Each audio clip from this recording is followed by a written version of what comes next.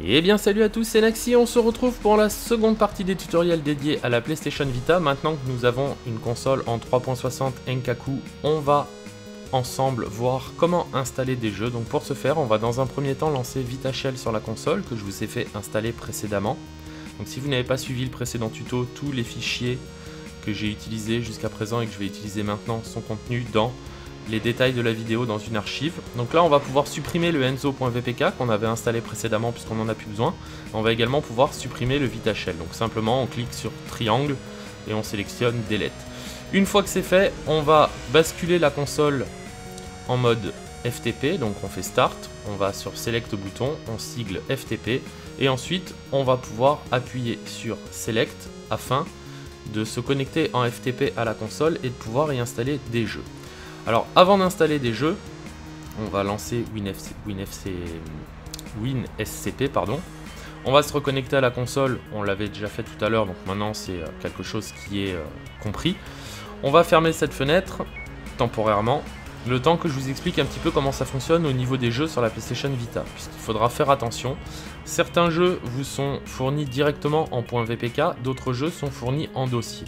Afin de transformer ce dossier en .vpk, il suffit de rentrer à l'intérieur, donc une fois que vous l'avez des, IP, vous rentrez à l'intérieur, vous sélectionnez tout ce qu'il y a à l'intérieur du répertoire, et vous allez, à l'aide de 7zip, créer une archive zip de ce fichier on clique ajouter à l'archive PSC le numéro du jeu .zip. On attend, hein, c'est juste de la compression. J'ai pris des jeux qui se transfèrent rapidement et qui ne sont pas très gros. Une fois qu'on a ce .zip, bah, je vais le mettre sur le bureau pour plus de clarté. Je vais fermer la fenêtre. On va modifier l'extension du fichier. .vpk à la place de .zip.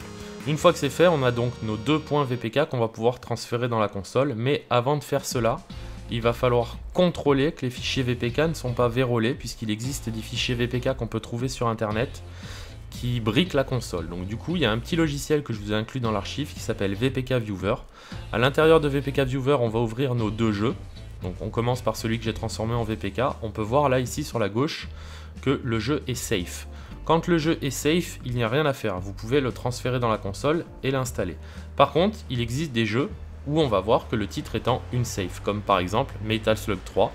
Donc là, du coup, deux solutions.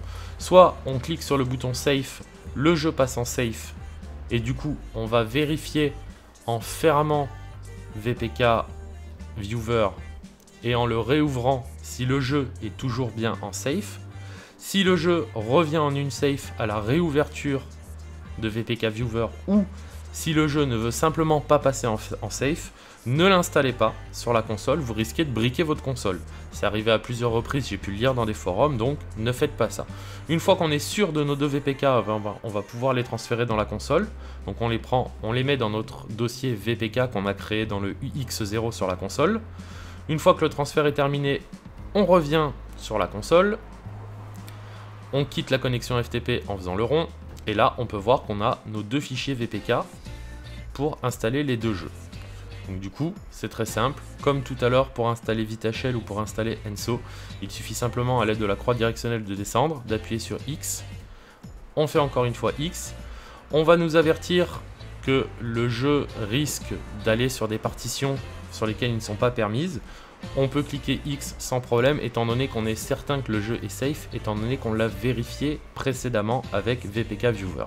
Donc là, l'installation se fait, donc moi personnellement, j'ai accéléré les temps d'installation pour pas que ce soit trop long au niveau du tuto. On peut directement comme ça installer ces deux VPK.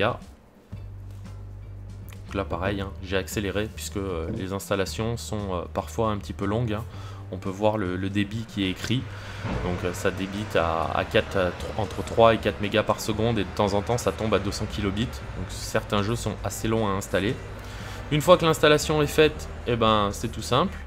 On peut supprimer nos deux points VPK puisqu'on n'en a plus besoin. Donc pareil, on fait triangle, on supprime.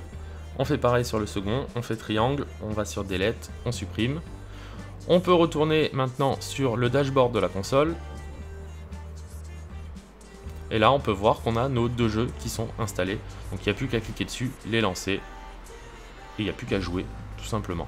Donc je reviens une dernière fois, là il y a un petit peu de, phase de gameplay pour vous parler de deux petites choses. La première, la console, si jamais c'est une console qui a déjà eu accès au PSN par le passé, votre console est validée sur le PSN. Donc ça sera le thème d'un prochain tuto où je vous montrerai comment sauvegarder l'activation de votre console. Si c'est une console qui n'a jamais été sur le PSN, bah vous risquez rien du tout. Ne vous y connectez pas quand même, puisque la console va vous réclamer une mise à jour du firmware. Là voilà, on a installé le jeu. On va parler maintenant dans le prochain tuto de l'activation et plus précisément de la sauvegarde de l'activation de la console. Donc c'est quelque chose qui est nécessaire. Moi sur ma PS Vita j'ai un accès au PSN. Donc du coup je peux transférer mon accès au PSN vers une autre console puisque j'ai sauvegardé les fichiers de mon ancienne console entre guillemets. Voilà, je vous laisse maintenant ces quelques images, on se retrouve dans quelques instants pour un autre tuto.